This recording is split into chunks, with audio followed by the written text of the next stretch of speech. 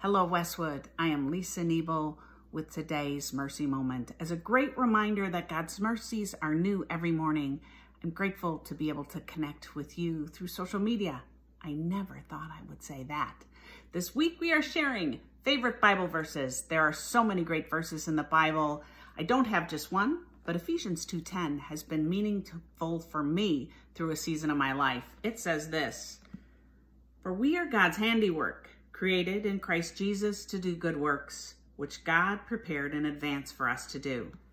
I've had seasons in my life where I've struggled to fit in. I wasn't smart enough to fit in with the nerds. I didn't fit in with the jocks or the musicians or the cheerleaders. These feelings of not fitting in continued on as an adult. This verse was super helpful to me in this season as I came to understand that God created me uniquely and perfectly, and I wasn't a mistake. When I lean into God and follow His leading in my life, I fit in perfectly. But I need to keep my eyes focused on Him. I do get off track, and the coronavirus has thrown me off track. I lost my focus. I'm an extrovert, and I enjoy interacting and encouraging people face to face. I'm a hugger.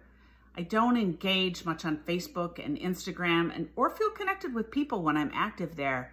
Working at home and engaging in virtual meetings has left me feel feeling drained, distant, and empty, with no energy afterwards for engaging with family and friends, and not at all like God's handiwork.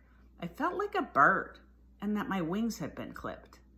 Through time, in prayer, and scripture, I was able to change my focus. Through stay at home and social distancing, I developed an inward focus. I was looking at myself and at my struggles while I cocooned in my house. When I was able to shift my focus from inward and myself to outward and God, everything changed. It started small for me as I felt God nudging me towards blessing others.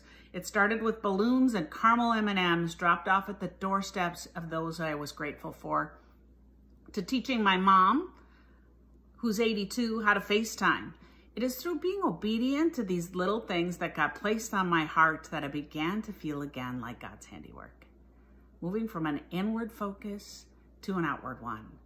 God continues to lead me to love people like Jesus in my little sphere of influence in this crazy time we have ourselves in. I hope this is helpful for you as you consider where God is leading you in this season. God bless you in your day. I can't wait till we see each other again face to face.